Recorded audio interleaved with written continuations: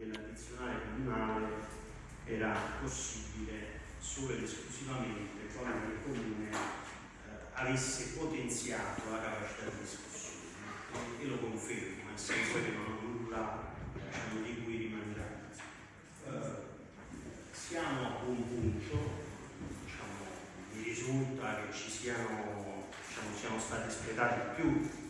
tentativi per l'insediamento della commissione, quindi l'iter procede in maniera assolutamente regolare,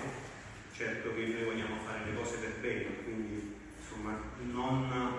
intendiamo accorciare i tempi da questo punto di vista.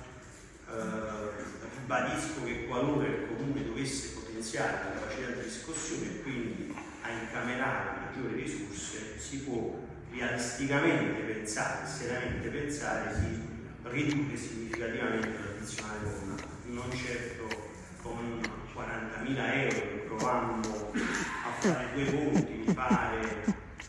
7-8 euro all'anno, tanto diciamo, ammontava, quindi 70-80 centesimi mediamente al mese, di fatto non se ne sarebbe accorto nessuno e probabilmente ecco, un'opposizione ci avrebbe anche tacciato eh, di, di populismo. Quindi noi miriamo ad una riduzione dell'addizionale, la lingua dell'addizionale cioè maggiore, consistente, che sia visibile, ma quando ce ne sarà la possibilità, perché tu conosci bene quelle che sono le condizioni del bilancio del comune di Calpizzano, non è che ce lo dobbiamo ricordare, poi avremo modo di affrontare il problema prossime, diciamo, nei prossimi consigli comunali e, e quindi eh, anche per quanto riguarda, tu dicevi, l'otto minimo, ma il regolamento IMU del comune di Calpizzano è stato modificato.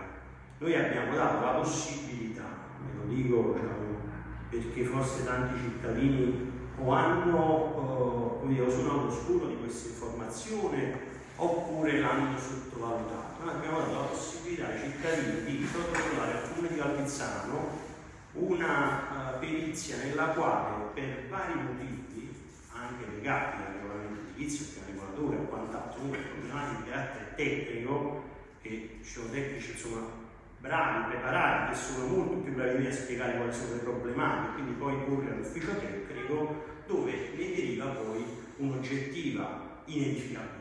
quindi a quelli noi abbiamo dato la possibilità di presentare l'istanza, di affrontare l'istanza perché non di ridurre diciamo, la base imponibile su cui calcolare l'IMU. Questo c'è nel regolamento IMU, non c'era, è stato inserito, e quindi dire che non facciamo proprio niente, insomma, non abbiamo la bacchetta magica.